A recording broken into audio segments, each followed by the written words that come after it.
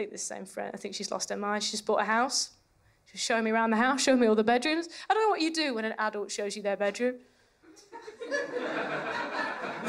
what do you say to them? I didn't know what to I was like, lovely, very nice. Which side of the bed is yours? That's what I said. Which side of the bed is yours?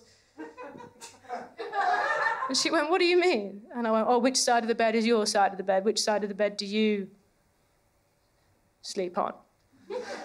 and my friend, I've known her over 15 years, she looked me full in the face and she said, Oh, we don't have sides, we just sleep anywhere.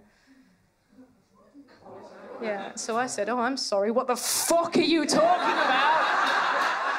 you fucking mate. What do you mean you don't have sides? You just choose one at random every single night. You've got no idea what's going to happen as you're walking up the stairs.